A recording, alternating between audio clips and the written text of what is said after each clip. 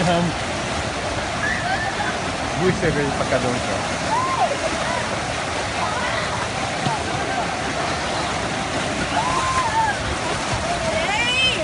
Você pegou?